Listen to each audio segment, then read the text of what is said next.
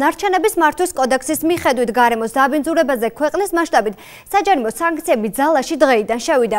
რამდენი ლარის გადახდა მოუწევს პირს, რომელიც გარემოს დააბინძურებს? თემაზე ვრცლად ქრისტინა ასლამაზაშვილი ისაუბრებს.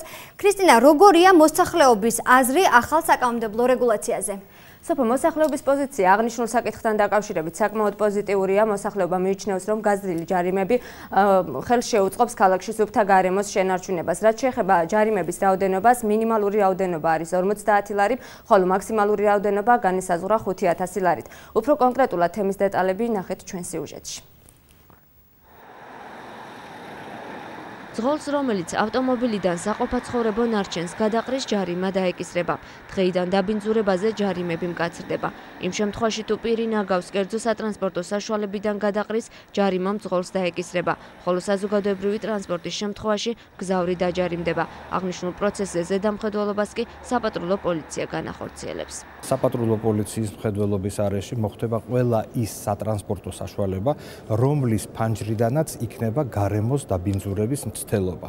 ეხება ეს სიგარეტის ნამწვავს, კვების პროდუქტის ნარჩენებს, цаრიელ ბოთლებს და დანარჩენ ამგვარ ნივთებს.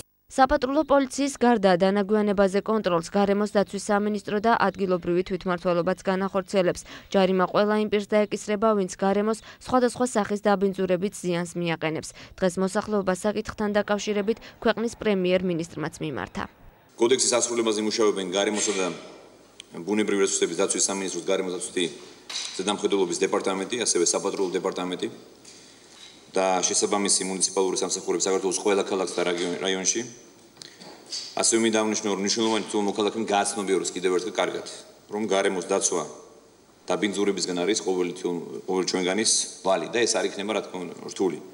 თუ ყველა დავიცავთ ელემენტარულ წესებს და ახალგულ კანონს. ძალიან მნიშვნელოვანია, რომ არ დავაბინძუროთ ის ქალაქი, სადაც ჩვენ და ჩვენი შვილები და უკვე დამზადდა სოციალური რგოლებიც, რომლის მეშვეობითაც საზოგადოებას კიდევ ერთხელ მოუწოდებენ გარემოს ისუფთავისკენ. იმ შემთხვევაში თუ პირი გარემოს 2 კილოგრამამდე ნაგვით დააბინძურებს, მას 120 ლარამდე ჯარიმა დაეკისრება, ხოლო საცხოვრებელი სახლებიდან გადაყრილი საყოფაცხოვრებო ნარჩენის დაფიქსირების შემთხვევაში მოქალაქე 100 ლარით დაჯარიმდება. რამდენად შეცვლის გაზრდილი ჯარიმები მოსახლეობის ცნობიერებას ამ თემაზე ქრონიკამ გამოკითხვა ჩაატარა.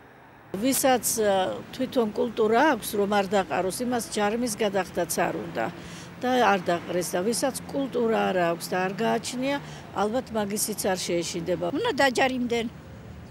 რომ მეორეთ არ გააკეთონ და ვიღოთ სუფთად რა ქალაქში ცხოვრობთ. ძალიან კარგი არის ეგ. სისუფთავე იქნება ქალაქშიც და ჩვენთვისაც კარგი იქნება. ეხა ძალიან ცუდი მდგომარეობაა ქალაქში რა.